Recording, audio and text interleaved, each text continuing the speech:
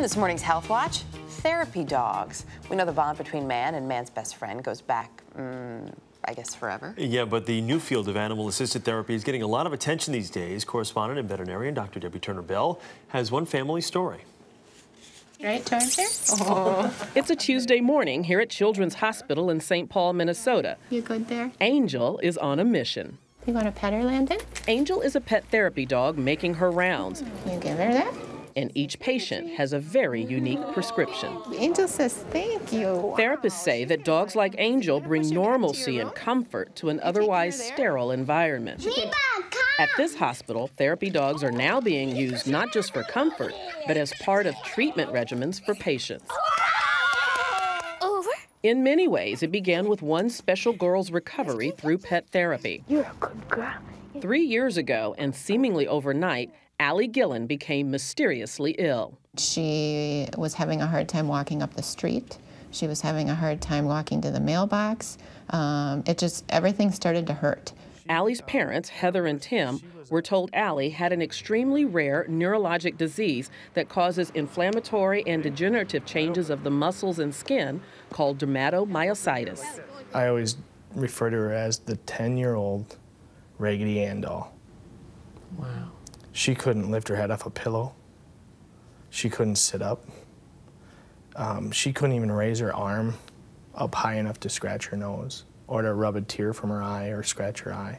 And what does that do to you as a parent? Breaks, breaks your heart. Her prognosis was grim. It affected her kidneys, her lungs, her colon, her throat muscles. Everything was shutting down. And uh, we were told her life was in jeopardy.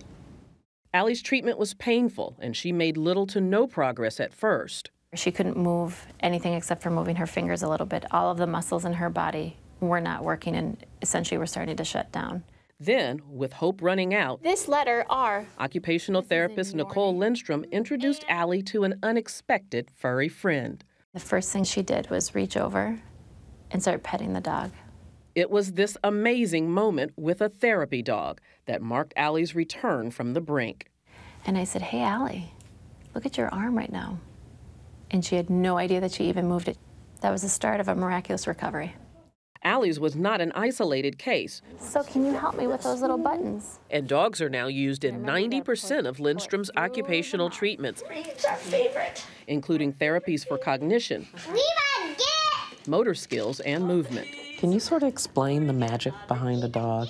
There's a natural bond that happens between a person and a dog, that the other things kind of slide to the wayside. For Allie, doing things like dressing the therapy dogs up in costumes helped her regain her fine motor skills and muscle strength. Without the pet therapy program, Allie's recovery would have been what? Allie's recovery would have been slow. It would have been hard, and uh, it would have been a fight. Oh, you said I can come out, right? Yeah. The Gillens were so grateful for the amazing effects pet therapy had on Allie that they wanted to pay it forward. Here we go. So Mom Heather went through the year and a half long process to certify Angel as a therapy dog. We thought our dog can do this. Angel can do this. We can do this. Nice to meet you. To provide that comfort and hope is something that my heart just jumps for every single week that we're there.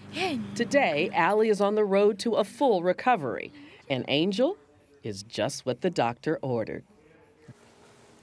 Allie, who's now 12, plans to be an occupational therapist when she grows up so that she can help other children just like her. Yeah, those Bichons are adorable. My grandfather was sick years ago, had one as a therapy dog as well. It, it really, makes, it's amazing. It makes such a difference, and so great to see how they're giving back too with, with Angel. Debbye, yeah. thanks. Yes. Thanks, Deb.